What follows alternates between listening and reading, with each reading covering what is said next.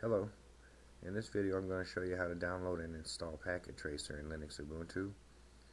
Cisco recommends that you use Firefox to download Packet Tracer. They say that Internet Explorer does not load the files correctly. And I'm at the Cisco Academy Connection website and I've already logged in. I'm on the student home page and at the left of that page there's a Cisco Packet Tracer download link. I'm going to click on that. I'm going to scroll down to the middle of the page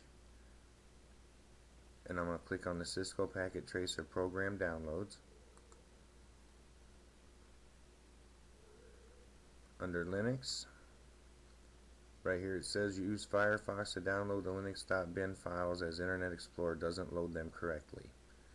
And I'm going to choose the first version, the Packet Tracer version 533 application plus tutorial Linux Ubuntu. And I'm going to click on the binary file. I'm going to save the file and it'll begin downloading. It's finished downloading so now I'm going to close the web browser. Next I'm going to go to the terminal and if you don't already have the terminal locked to the launcher you can go to dash home Let's type in term you could either drag and drop the icon onto the launcher to lock it to the launcher or you can click on the icon and the terminal will open before we begin running commands, Linux is case sensitive. You want to make sure to type all the characters exactly how they're supposed to be. And I'm going to type in cd space downloads with a capital D and I'm going to hit enter. Next I'm going to type ls and hit enter. This is showing us the contents in the downloads directory and right now packet tracer is the only thing I have in there next I'm going to type sudo space chmod space plus x space. And this is going to allow the file to be executed. And then I'm going to highlight the file name.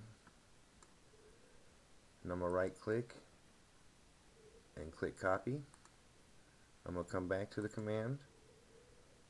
Right click and click paste now the file name is inserted into the command.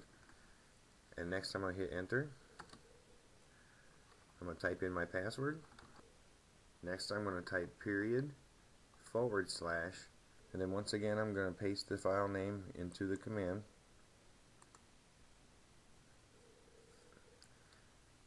And then I'm going to hit enter. The file begins to extract and right now it's asking me to press enter to read the end user license agreement so I'm going to press enter.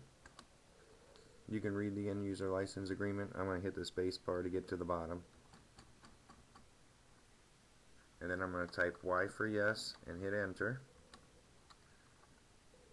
And it will begin extracting and installing. And it's finished installing so I'm going to close the terminal. Next I'm going to go to dash home I'm going to type in packet. And under applications here's the packet tracer icon. And if you click on it packet tracer will open. And that's how you install packet tracer in Linux Ubuntu. Thank you for watching. Have a great day